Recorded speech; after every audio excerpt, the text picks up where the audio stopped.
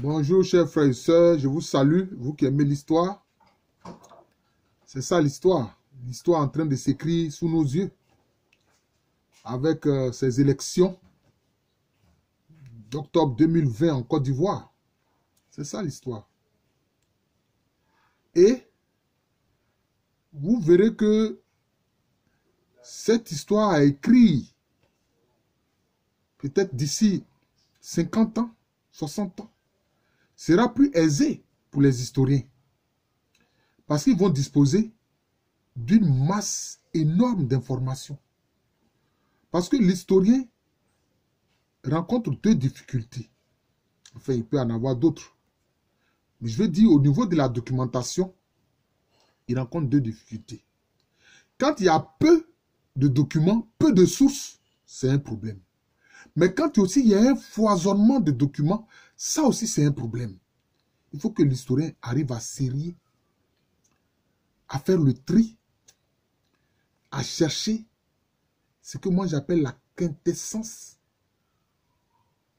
la vérité. La vérité, c'est la quintessence des choses. Ah oui. Quand il y a une nuée importante comme ça d'informations, l'historien doit alors faire montre de son talent. Alors, nous vivons des moments difficiles en Côte d'Ivoire, des moments même dramatiques. Parce que, pour nous qui sommes historiens, nous ne sommes pas surpris. La lutte pour le pouvoir entraîne toujours des affrontements entre les humains. Quand on observe l'histoire des peuples, des nations, des États, la lutte pour le pouvoir politique, d'ailleurs que ce soit un pouvoir politique, économique, culturel, social, etc., ça entraîne des affrontements. Et c'est à ça que nous assistons. Mais, sachez que, frères et sœurs ivoiriens, et vous qui vivez en Côte d'Ivoire, les nations naissent dans la douleur. Les nations là, elles naissent dans la douleur. C'est ça la réalité. Je vais prendre quelques petits exemples pour que vous compreniez. Les États-Unis ont connu la guerre de sécession. Ça a été un tournant douloureux mais décisif dans l'émergence de la nation américaine. L'Angleterre a connu la période de Cromwell. Oui. Oliver Cromwell, c'était une dictature. Oliver Cromwell a instauré une dictature en Angleterre. Son pouvoir était tellement fort même que les gens ont voulu faire de lui roi. Oui. Mais on lui a donné le titre de Lord Protector, c'est-à-dire le Seigneur qui protège. Comme si les, Anglais ont oublié que c'est Dieu qui est le Seigneur qui protège. Ils lui ont donné à, Cromwell, Oliver Cromwell, le titre de Lord Protector. Mais il a dit non, qu'il ne veut pas être fait roi, etc. Mais en fait, dans les faits, il était tout comme roi. Hein. Un roi avec tous les pouvoirs. Mais quand Cromwell est décédé, mais les Anglais ont fait en sorte que plus jamais quelqu'un n'ait le pouvoir que Oliver Cromwell a eu. C'est ça. C'est ça qui a fait qu'ils ont mis en place l'habeas corpus. Pour faire en sorte que plus jamais quelqu'un ne vienne instaurer une telle dictature comme Cromwell l'a fait en Angleterre. Ça aussi, c'était un point focal de la vie de la nation anglaise. Les Français aussi ont connu un moment décisif de la vie de leur nation. C'est vrai, on parle de la révolution de 1789 quelquefois, on veut présenter, qu'on veut présenter quelquefois sous des, jours euh, euh, tellement glorieux, etc. Mais non. Quand on observe bien la Révolution française, ah non. Ça a été un moment de cruauté pas possible. Hein? On a vu des actions terribles, des morts chaque jour dans Paris. Robespierre a instauré une terreur politique. C'est ce que Robespierre a fait. Il a instauré une terreur politique. Vous voyez? Et puis, les révolutionnaires, on voit bien que le roi Louis XVI était prêt à collaborer. Il était prêt à collaborer. Il n'était plus question pour lui d'être le roi qui a tous les pouvoirs, comme son, je peux dire, son, grand-père, ou bien, je sais pas moi, son arrière-grand-père, euh, Louis XIV, non. Louis XIV qui disait, la France, c'est moi. Ah oui, le roi soleil. Il dit, la France, c'est moi. Mais Louis XVI, non. Il ne voulait pas faire comme son grand-père Louis XIV, non.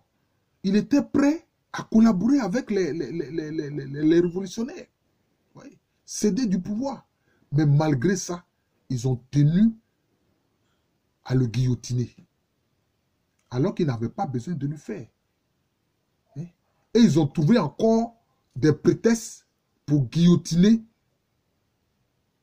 Marie-Antoinette, son épouse alors qu'il n'avait pas besoin de le faire.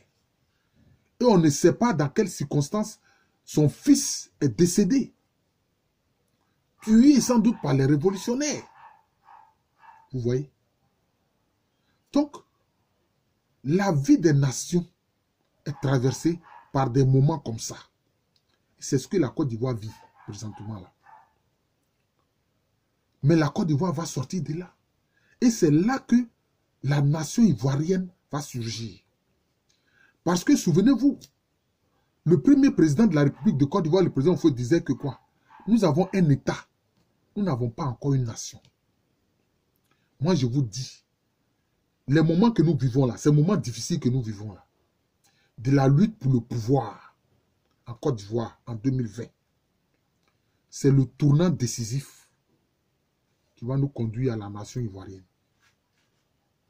Je vous le dis, parce que mes connaissances d'historien me permettent de le dire. Mes connaissances d'historien me permettent de le dire. Vous comprenez? Mes connaissances d'historien me permettent de le dire. La Côte d'Ivoire se tourne résolument vers la formation d'une nation.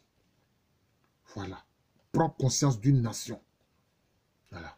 Tu vas t'identifier comme ivoirien, non pas comme Agni, non pas comme Hébrier, non pas comme Aladja, non pas comme Maouka, non pas comme, euh, euh, comment on appelle ça, euh, non pas comme Koyaka, non pas comme Abron, Bron, Oulango, Oulon, ou Anon, ou Baoulé,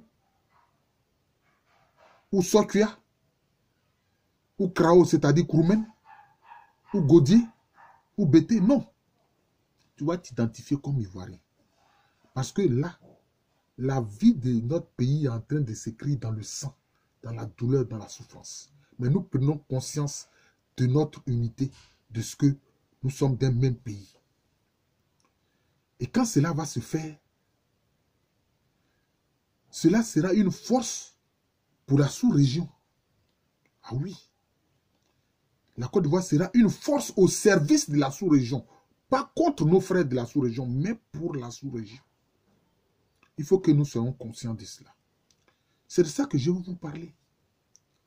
Les nations naissent comme ça dans la douleur. Le Ghana, les gens s'étonnent. Comment c'est fait qu'aujourd'hui au Ghana, les choses se passent assez bien, pour ne pas dire bien? Parce qu'ils ont connu ces moments de tournant. Ces moments de tournant avec l'action décisive hein, de Jerry John Rawlings. Vous voyez?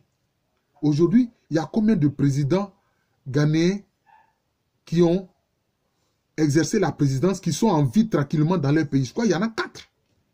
Il y en a quatre.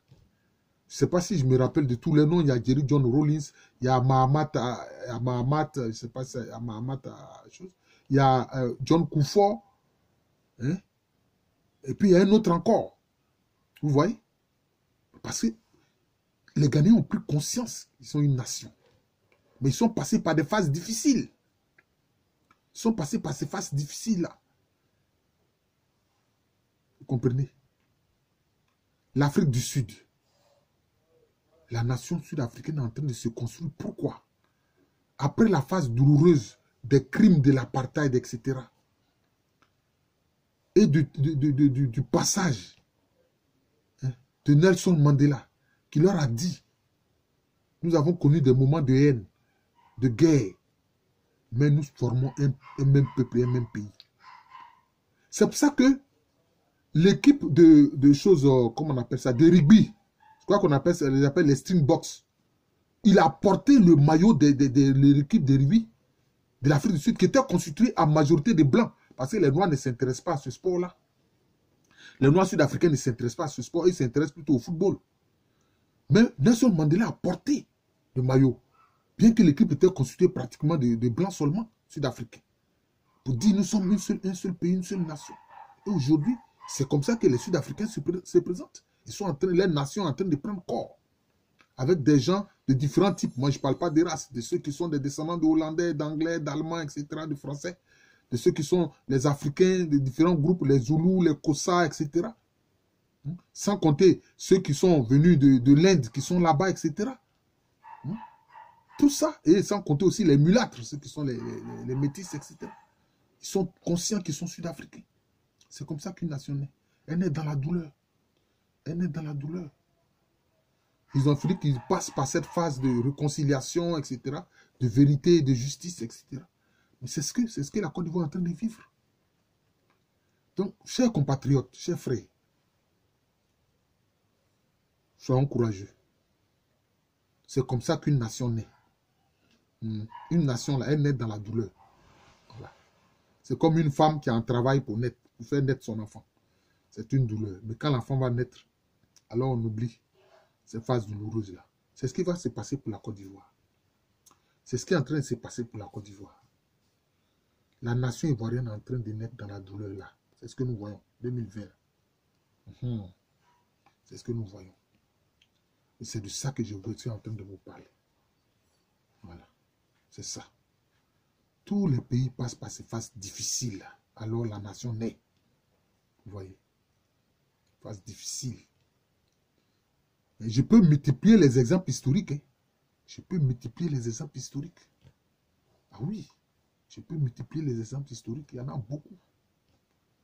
Il y en a beaucoup. Le Chili est passé par la phase de la dictature de Pinochet. Aujourd'hui, les Chiliens sont conscients de leur nation. Ils n'ont plus jamais que cela n'arrive au Chili. Où on a vu comment est-ce que le président Salvatore Allende a été tué, abandonné de tous, alors qu'il était le président légitime, illégal. Mais les Chiliens, aujourd'hui, ils ont mis en place des choses de sorte que, des institutions, de sorte que plus jamais un Pinochet ne, ressurgisse dans leur nation, au sein de leur pays. Donc c'est ça. C'est ça. C'est important le Japon a connu deux grandes phases douloureuses. D'abord, il y a eu l'ère Meiji qui leur a permis de, relancer, de devenir un pays développé, puissant. Mais quand ils sont passés par la phase douloureuse de la Seconde Guerre mondiale, où c'était une dictature pendant cette période-là de la guerre du Pacifique avec le Japon, mais c'était c'était une dictature militaire avec le, général Tojo. C'était une dictature militaire. Le roi était là comme ça, il dit le roi, l'empereur, l'empereur était là comme ça, mais en fait l'empereur n'avait pas de pouvoir. On disait faire tout en son nom. Tous les crimes même qui se commettaient, on dit que c'était en son nom. Vous voyez? Mais en fait, l'empereur n'avait pas de pouvoir réel. C'était le général Tojo et tout son état-major. Vous voyez? Mais après avoir subi les deux bombes atomiques et la destruction du pays, aujourd'hui, les Japonais ont mis en place des institutions solides. D'ailleurs, eux, ils étaient, il y a longtemps qu'ils étaient, ils avaient déjà la, conscience de nation. Mais ils ont fait en sorte que plus jamais hein, un régime militariste et un régime militaire comme celui du général Tojo ne survienne dans leur pays. Plus jamais. Vous voyez? Plus jamais. Et le fonctionnement politique au Japon se fait, tranquillement. Je, vous prends je prends tous ces exemples-là, frères et sœurs, pour vous dire que tous les pays passent par ces phases-là. C'est comme ça. On n'y peut rien. Je dis courage aux Ivoiriens et courage à ceux qui vivent en Côte d'Ivoire. voyez? La Côte d'Ivoire est un pays à qui Dieu a donné beaucoup de capacités. A eu beaucoup de capacités. Il y a beaucoup de biens. Au plan agricole, au plan minéral, au plan minéralogique. Avec une jeunesse, sa population est jeune. Comme le président Oufoué disait, il dit, mais vous pensez que ceux qui ont quitté les sous-régions, la sous-région pour venir vivre ici, qui gagnent bien leur vie, ils vont retourner dans le désert de leur euh, vie ancienne? Non. Mais il faut qu'ils acceptent que c'est la nation ivoirienne qui est en train de se construire. Le noyau, c'est la nation ivoirienne et ils vont former d'autres rayons autour. Parce qu'ils profitent de ce pays-là. Voilà. Et s'ils veulent, ils peuvent prendre la, nationalité ivoirienne. Il n'y a pas de problème. Voilà. Il n'y a pas de problème. Moi, je, préfère qu'on allège le système de naturalisation. Oui, parce que ces gens qui viennent de l'extérieur, qui, font des enfants ici, une génération, deux générations, trois générations, mais ceux-là, ils ne connaissent plus le, pays d'origine de leurs parents, ils n'y vont jamais. Ils n'y vont jamais. Ils sont devenus, dans les faits, ivoiriens, mais au plan légal, ils ne le sont pas. Et ça, c'est ça le problème. Voilà. Donc, il faut qu'on mette en place un système. Voilà. Même pour les... C'est pas normal qu'en plus, ces gens-là, ils viennent, ils font des enfants. Ces enfants-là, ils ne sont même pas déclarés. Ils n'ont même pas d'extrait de naissance. Mais on, doit commencer à faire des extraits de naissance. Mais il faut qu'on donne pouvoir, même dans les villages, au chef du village, d'être des premiers noyaux d'émission de papier de naissance. Voilà. Mais là-dessus, on mentionne, les, parents mentionnent leur nationalité. Voilà, ils mentionnent leur nationalité. Ils mentionnent leur nationalité, déjà, ce niveau. Ensuite, maintenant, c'est acheminé maintenant au niveau de la sous-préfecture ou des mairies. Et puis maintenant, ça suit son cours jusqu'à ce que l'extrait de naissance soit donné à l'enfant. Mais déjà, on mentionne la nationalité dans les, sur l'extrait. C'est important. Et deuxième chose, il faut que tous ceux qui résident en Côte d'Ivoire, j'ai dit bien tous ceux qui résident en Côte d'Ivoire sans exception, aient une carte d'identité. Qu'est-ce que je veux dire? Il y a la carte d'identité des nationaux et il y a la carte d'identité des non-nationaux qui vivent en Côte d'Ivoire. C'est tout. Comme ça aussi, ça ne va pas pousser les policiers à, arrêter quelqu'un pour dire que non, tu n'as pas de papier, et puis voilà, trouver le moyen de le soudoyer. Ce n'est pas tous les policiers qui font ça, mais certains font cela. comme ça, ils n'auront plus à faire cela. Celui qui vient en Côte d'Ivoire, qui met un pied en Côte d'Ivoire ici, ben, il sait qu'il peut aller faire une carte Les cartes seront différentes. Peut-être on peut faire en sorte que bon, la carte des Ivoiriens soit une carte verte. Voilà. Et puis celle des, non-Ivoiriens qui résident en Côte d'Ivoire soit blanche ou bien, je ne sais pas moi, euh, tout ce que vous voulez. Brun, rouge, je ne sais pas. Toutes les couleurs que vous voulez. Voilà, c'est comme ça.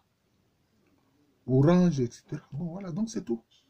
Comme ça, tous ceux qui vivent en Côte d'Ivoire ont une carte même s'ils peuvent aller ensuite sur leur, à leur consulat pour faire leur, euh, leur papier de nationalité, mais le fait qu'ils résident en permanence en Côte d'Ivoire, ils doivent avoir une carte, une carte euh, d'identité qui les identifie. Comme ça, même nous aurons des statistiques claires de tous ceux qui vivent en Côte d'Ivoire et des statistiques claires de tous ceux qui sont ivoiriens. C'est important. C'est important. C'est important. Comme ça, ça évite tout soupçon de xénophobie, de rejet, etc. Tout est, tout est aplani. Et voilà. Il y a ceux qui sont ivoiriens, a ceux qui vivent en Côte d'Ivoire. Nous tous, nous profitons de cette terre que Dieu nous a donnée. Voilà. C'est important. Courage, frère. La nation ivoirienne est en train de naître sous nos yeux. Dans la douleur, dans les larmes, dans les pleurs, dans le sang. Mais c'est aussi cela moi, l'historien, professeur Louko René, je viens vous dire que toutes les nations sont nées dans la douleur. Mhm. Et j'ai pris des exemples historiques pour que vous voyez. Donc, c'est bien clair. Je vous souhaite une bonne journée. Que Dieu bénisse les Ivoiriens. Que Dieu bénisse tous les habitants de la Côte d'Ivoire. Que Dieu bénisse ceux qui veulent du bien à ce pays et à ses populations. Et que Dieu donne la sagesse à ceux qui posent des actes qui ne sont pas bons pour la vie de ce pays-là. Je suis le professeur Aloko René. Et je dis que quand cette nation qui est en train de naître euh, vient, désormais là, pour occuper des postes de responsabilité, il faudrait que chaque personne qui a appelé à occuper un poste de responsabilité passe devant une commission d'éthique. Pour ne pas que ce soit des individus véreux qui, qui, dirigent le pays à quelque niveau que ce soit. À tous les niveaux de responsabilité. À tous les niveaux de responsabilité. depuis le gouvernement, en passant par tous les directeurs centraux, les, présidents d'université, il faut, il faut passer par des, commissions d'éthique pour qu'on voit votre éthique. Voilà.